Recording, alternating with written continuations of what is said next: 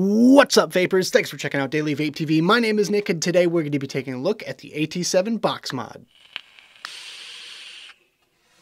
Ah, yes, the AT7 box mod, one of the most controversial devices to come out so far this year. It's made by a company called Stentorian Vapor and exclusively distributed by our friends over at Wotofo. This box mod is weird. It looks weird, it functions weird, and to be honest with you, I really don't feel like it found its niche within this industry. Now, with that being said, speaking of niches, it's meant to go after the PC gaming culture. It's all PC gaming inspired with water-cooled inspired design, as you can see by all the little tubes and circuit boards boards and everything like that. It's meant to look like a CPU, but in all intensive purposes, does it function? Well, stay tuned for that. We'll go over all the pros and the cons a little bit later. So before I get into this video, I do have to state my intent by saying that I did receive this product for free from the manufacturer for the purpose of doing this video. However, it has no monetary value to me, which means my opinions on it will remain honest and unbiased, of course, as always. With that being said, I'd like to give a huge shout out and thank you to the people over at Wotofo for sending this my way. Really do appreciate the opportunity to take a look at this interesting interesting looking mod. So after doing some homework, I found that this device is available in two different colors. You have a white version and a black version. I have the black version here, as you can see by this nice matte black finish. And with that, the price point is going to be around $64.99. Now, I've heard all the way up to $100 for this device, so don't get ripped off. Try to find a good deal if you really want one of these. And if you do want one of these, make sure you check out the links I've got down there right in the description. So without further ado, let's go down to the close-up view and take a better look at this thing. Alright guys, as you can see here, we've got our AT7 in its original box. Let's quickly take a look around the packaging and then we'll talk about what is inside. So first and foremost, really nice looking packaging in my opinion. It's got this kind of uh, spot gloss going on. You got the little uh, embossed silver uh, logos and everything. Looks like a big computer chip on the front here, which I guess is appropriate for what this device is kind of modeled after. Uh, Alltech, which is AT and AT7 right there. On the bottom, you have your standard uh, scratch and check, your UPC, another little silver embossed logo there, and a color indication black. Nothing on that side. On the top, another logo with another color indicator. Nothing on that side. And on the back, we have our pretty standard product kind of thing that we always look at here. Packing list, basically just the mod, the manual, and the charging cable. A few little warnings and company information right there and their website. So there you go. Let's take off the top cover. So there we go.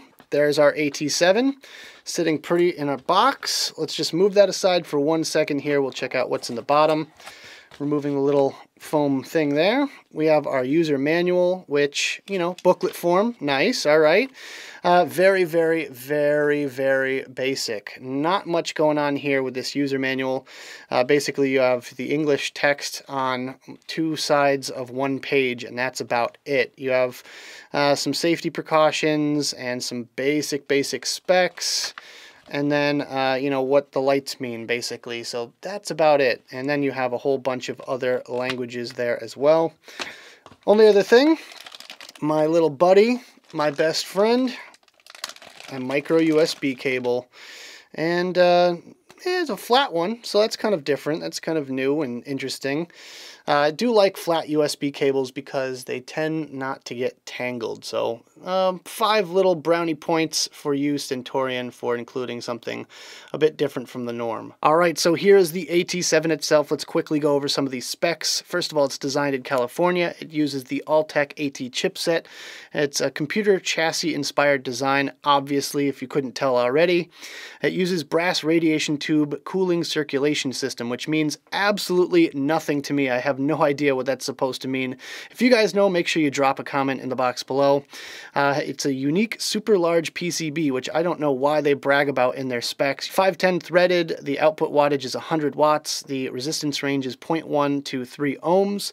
It uses a built-in lithium polymer 3500 milliamp hour battery, an auto adaptive smart power output, instant firing speed, color power and logo LED lights, an acrylic cover, large side fire button design, micro micro USB charging port, 5 volts at 1 amp, low voltage warning, low resistance protection, short circuit protection, and overcharge protection. So as far as functions are concerned, this device really doesn't have too many of them to be honest with you.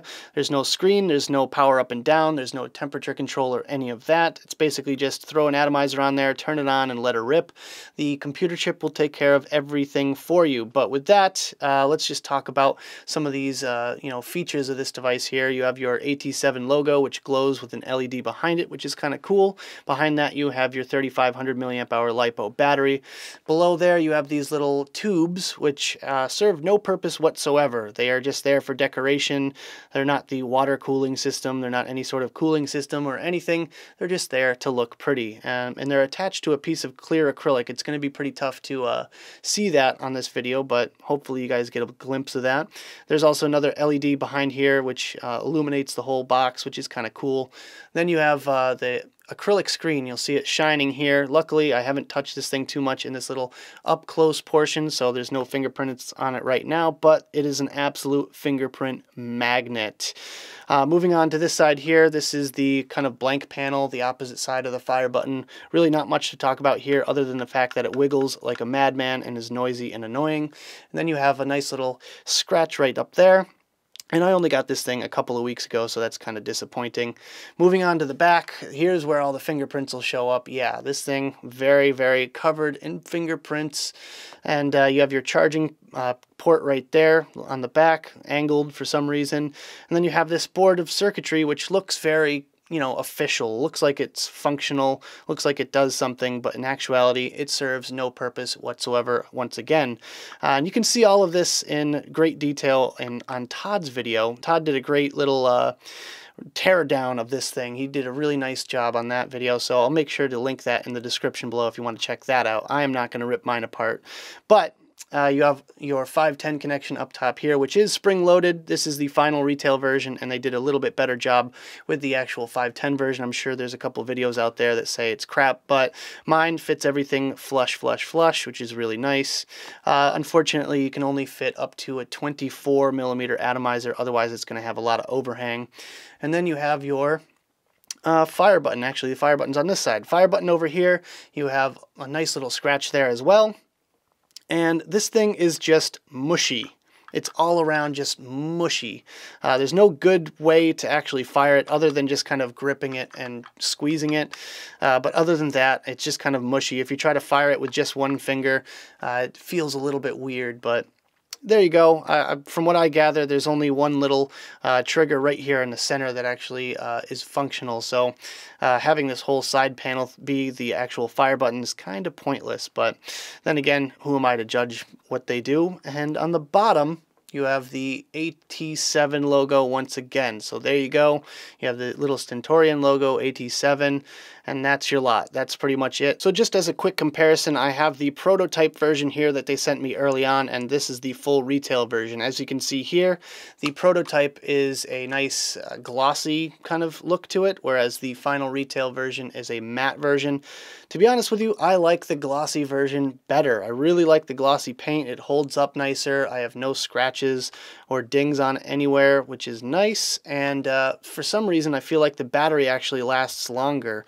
Uh, also, the on only other thing is that the charging, when you're charging the prototype version, it has a little soft glow LED kind of slowly on and off, whereas this one here just kind of blinks and is almost annoying. But with that, uh, they're almost identical otherwise. So real quick, let's just fire this thing up with five clicks. One, two, three, four, five and it slowly illuminates the multicolored LED and then just shuts off. As you can see there, that means the device is on. If you try to fire it without any atomizer on it, it just kind of blinks the LED there and nothing happens. Once the battery gets below 50%, the white LEDs turn to blue, and then when it's about, you know, 1%, it turns to red. You get two puffs out of it, and then it's completely dead. So really wish there was a, a few more stages in there to show the, uh, you know, differentiating uh, of battery percentages, but there you go. And uh, really, let's just throw an atomizer on there real quick. I've got the Recoil Rebel right here, which we're going to use today. So throw that on there, and we'll fire it up real quick for you guys. So pretty quick fire up time, and you can see the uh, LEDs kind of glowing on there. Might be a little bit difficult in this light to see. But yeah, they do glow in there. When it's kind of a, you know, you're in a dimly lit room or something like that, it makes a, a lot more of a difference. But it is kind of cool having the LEDs on the inside of the box. It just looks kind of like a gaming PC, which I guess they were going for. So there you go. So that about does it for this little close-up look at the AT7. Let's go back to the main screen, have a quick vape on this thing, and we'll talk about it some more. Alright guys, I hope you enjoyed the close-up section of the video. Now let's talk about my personal thoughts about this device, some pros, some cons, and whether or not it's worth purchasing. Starting off with my short list of pros today, we have it looks badass. This thing looks cool as hell. It looks like a miniature gaming PC. It looks like someone just took a shrink ray and shrunk it down to a little tiny thing like this here, which is absolutely great. It's exactly what they were going for, and you know, even the little AT7 logo lights up when you fire it that just looks cool in my opinion.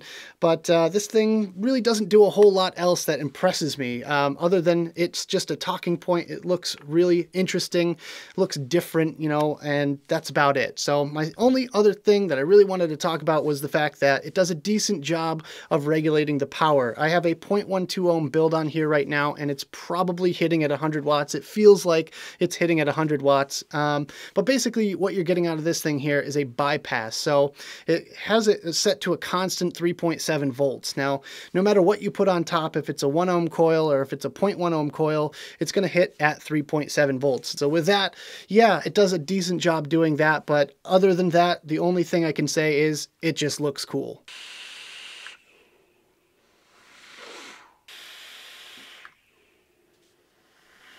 So we're going to be doing something a little bit different here today for the con section. I just have so much to say about this device that I can't really extrapolate on each individual topic for too long, considering that if I did, this video would probably be an hour long. But with that, I want to encourage you guys to leave some comments down there in the box below.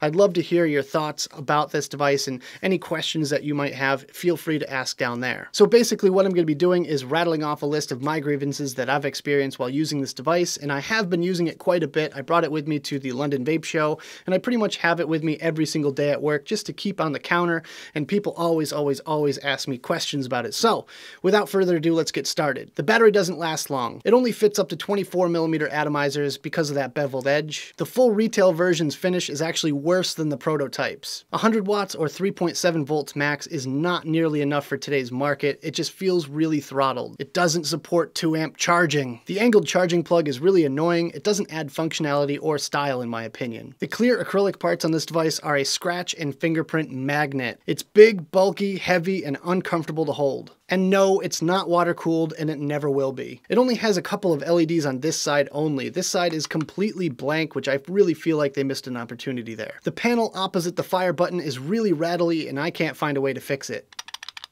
The channel around the top beveled edge here just collects a lot of juice and crud. And last but not least, it's too freaking expensive for its own good. So with all that being said, it has a lot of character and potential for that sort of niche market, but to me it's nothing more than a talking piece. I like putting it out on the counter so that people ask me questions about it and I vape on it and they, you know, are impressed by it. But one thing that really bummed me out is the fact that when you charge this thing, it just kind of blinks and sits there, uh, whereas the prototype version had a nice soft light glow to it when it was charging. So I think I might just keep this thing on my desk as just sort of a, you know, some sort of cool accent light.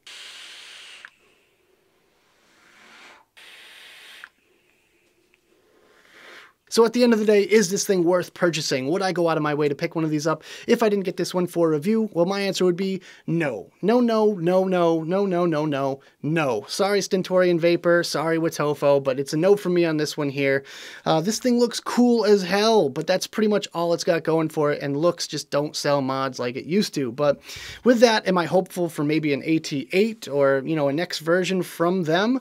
Yeah, you know, I kind of hope they take our feedback, all the other reviewers viewers' feedback as well as my own, and run with it. You know, come out with an AT8, make a lot of drastic changes here, and you got yourself a good mod. But with that, it's a no for me on this one, but by the off chance you guys want to pick one up for yourself, make sure you check out the links I've got down there in the description. So that about does it for this video, guys. I hope you enjoyed. If you did, make sure you hit that like button and subscribe for more videos just like this. Don't forget to click the notification bell right next to the subscribe button if you want to be alerted whenever I upload videos. Also, leave me some comments in the box below. I'd love to hear your thoughts all about the Stentorian AT7 box mod. I'm sure this is going to be a good one down there in the comments box below. But uh, also check out the advocacy and my social media links right down there in the description. Thank you guys so much for joining me. And as always, vape on.